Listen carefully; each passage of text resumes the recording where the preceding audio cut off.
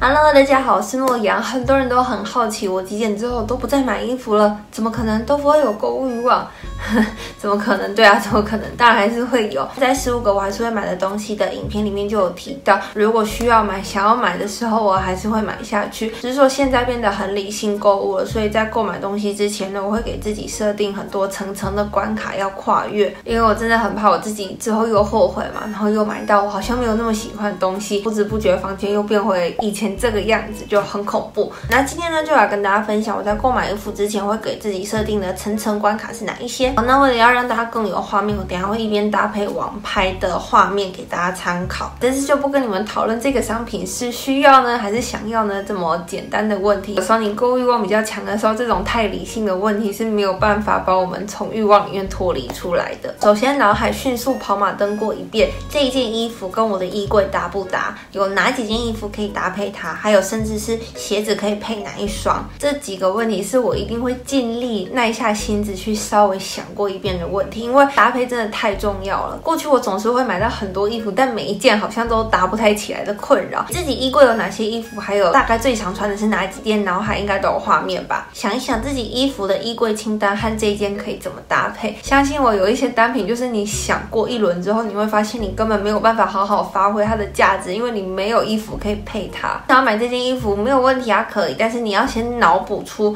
有没有三套或是五套的搭配，让你可以穿出门。好比我就脑补现在画面的这件衣服，可以配我的灰色窄裙、白色的短裙，然后塞进衣服或是不塞进衣服都是一种穿法。然后这件配黑裤的话，好像就怪怪的。鞋子的话，配牛津鞋好像很奇怪。那如果配小白鞋的话，应该很好看。但是我好像没有很常穿小白鞋。就像以上这些之类之类的脑补练习，我觉得在你之后搭配上面，还有你现场做选择上面，会蛮有帮助的。再来呢，是你要发誓这件衣服它符合我的身形。如果你可以看着这件衣服，对它讲出这一句话，然后你确定你不是在自欺欺人，是因为它真的是符合我的身形的话，OK，那我也觉得你可以买。你要确定哦，你不是因为今天鞋子正好稍微跟高一点，所以穿起来才好看。你也要确定，你不是因为你刚刚有缩小腹照镜子看，你才觉得哎好像很满意。要买到合适的衣服，绝对绝对不可以对自己现场说谎。至于谈论到网购的话，我觉得最低限度你一定要知道你自己的身材尺寸表，路上有提供那种尺码表，或者是有试穿人员的试穿报告的话，那种就更好。再来是我的穿衣习惯是如何，我穿的频率有多高？频率是一个非非常重要的关键。我举无印良品的睡衣来当例子，很多的 YouTuber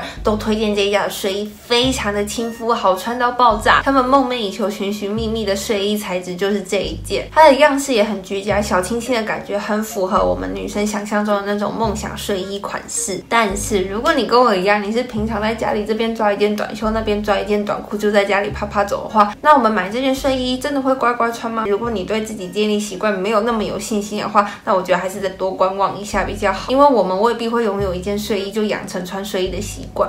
再来，什么场合我会？穿，我们再来举无印良品的这一件休闲棉裤来说好了，看起来非常的 casual，很休闲，很好搭，听起来基本款一定不会错。诶，但是我后来就发现，其实不是什么基本款就都不会出错哦。如果我平常都穿白衬衫、黑色窄裙，假日在家里都随便穿穿睡衣睡裤，外出找朋友的时候，因为想要打扮，真的要去逛街，所以可能会穿裙子或是牛仔裤。诶，所以其实虽然很好搭，但是平常却不会想要主动去穿这件棉灰的长裤。什么场合可以穿？是我们的理想，但是什么场合我会穿是我们的现实。再来，你住的地方天气适合吗？这往往也是一件衣服有没有机会被穿出门的一个非常关键之因素。你是不是住台南，还是你住高雄？平常有常常出国往一些很冷的地方、城市或是国家跑吗？如果以上都没有的话，哈，虽然很不甘心，但真的就是。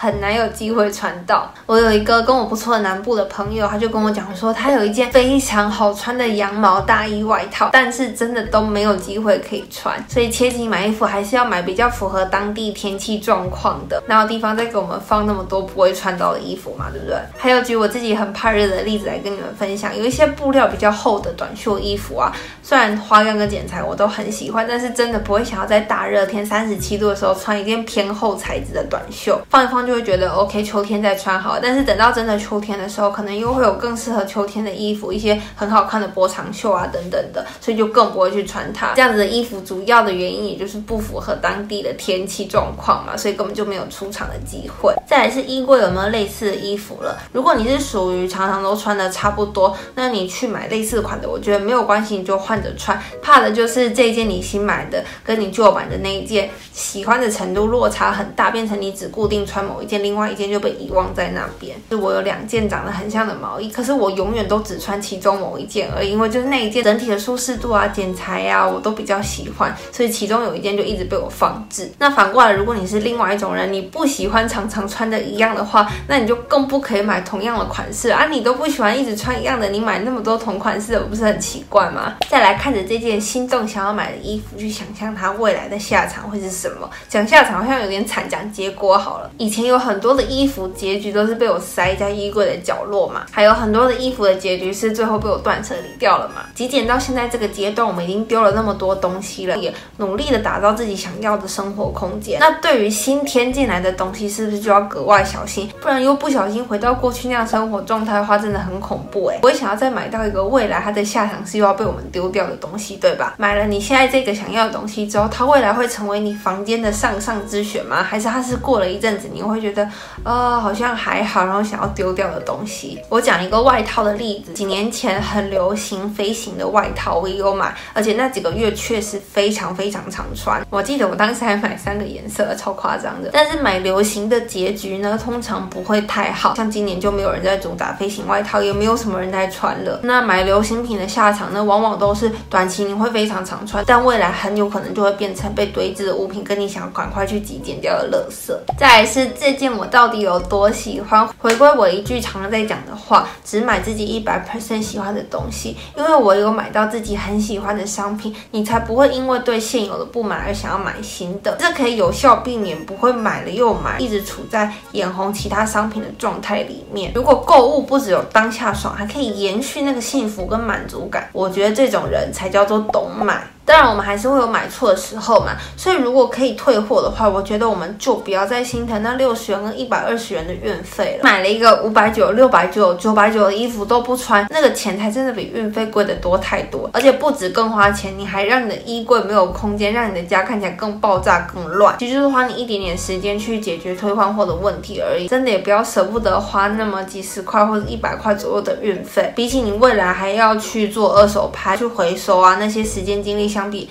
运费是很划算的。我之前有买过一条好像一一九零元的裤子吧，然后结果也是买回家，大概快要两个礼拜都没有穿。最后我就赶快在退换货截止日期前去把它退掉了。该花的就花，然后如果有发现自己花错的状况，就更注意自己下一次的决策，聪明购物就好了。这是我自己目前的经验，精准购物是可以被训练的。现在想要买衣服实在太容易了，除了需要跟想要的原则，如果你还想要更精准买到不让自己后悔的单品，不妨还是可以花一点时间想一下我刚刚上面提到的层层关卡。很喜欢一个东西很好，但是该灭的火还是要灭，让我们还是只会和美好的生活渐行渐远。OK，那以上就是这一次的分享，希望大家都可以训练出精准购物的能力，买到不后悔的商品。希望你们喜欢今天这一集的内容，我们就下一集极简生活再见吧，拜拜。